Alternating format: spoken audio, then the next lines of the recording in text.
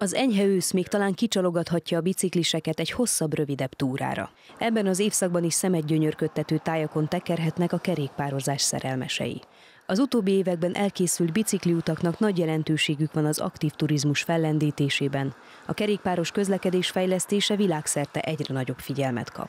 Vinnai Győző országgyűlési képviselő köszöntőjében elmondta, hogy a Nyíregyháza Tokaj térség a tíz kiemelt turisztikai övezet egyike, ez pedig arra készteti a településeket, hogy együttműködjenek. Az aktív turizmus ezen a vidéken, a Tisza ölelésében, a Nyíregyháza Tokaj kiemelt turisztikai övezetben, mert ebben vannak települések Szabolcs-Szatmár-Bereg megyében is, ugye a másik oldalon Borsodabó Zemplén megyébe, és a Nyíregyháza Tokaj kerékpárút megépítése nagyot lendített az aktív turizmuson. Az aktív turizmus alatt a kerékpáros turizmus, a vízi turizmus, esetleg a gyalogtúrákat értjük, amikor a turista aktívan bekapcsolódik, nem csak a látnivalók helyszínére megy el autóval, hanem ő maga is túrázik, és a természettel kapcsolatba kerül. Egyébként én azt látom, hogy az aktív turizmusnak nagy jövője van Magyarországon, hiszen a kerékpáros, a kerékpárutak, így a Nyíregyháza Tokaj kerékpárút is nagyon népszerű. Nyíregyháza belterületén több mint 80 km kerékpár épült, a Mária út is megépült, Borsod megyében is épülnek, és gyakorlatilag köröket lehet tenni, ha azt mondom, hogy Nyíregyházáról eljövünk Rakamazik Tokajig, Nagyhalász irány irányába elmegyünk, és Nagyhalász után újra Nyíregyházára megyünk, ez egy kb. 60 kilométeres kör.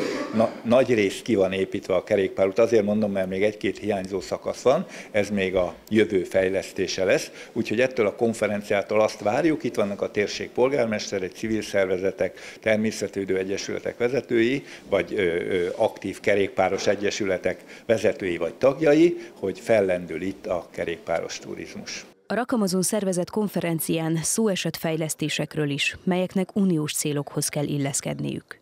Révész Máriusz államtitkár elmondta, a Nemzeti Kerékpáros Stratégia célja, hogy növekedjen Magyarországon a kerékpárral közlekedők száma és a kerékpáros turizmus részaránya. A stratégia emellett arról is szól, hogy milyen városban szeretnénk élni. Egy autókra optimalizáltban, ahol egyre több sávot építenek, ezzel egyre nagyobb dugóknak adva teret, vagy egy holland vagy dán mintára kialakítottban, ahol próbálják a városon átmenő forgalmat csökkenteni, és a közlekedést kerékpárosok és gyalogosok számára is vonzóvá tenni. Arról van szó, hogy az aktív turizmus az egyre fontosabb eh, szerepet eh, tölt be a turizmuson belül, és a turizmusnak a gazdasági részaránya is növekszik. És ez a régió a Bodrog mentén, eh, Tisza mentén, Zemplénnel, tehát ez egész vidék, ez igazából egy ilyen fantasztikus aktív turisztikai fellegvár lehet.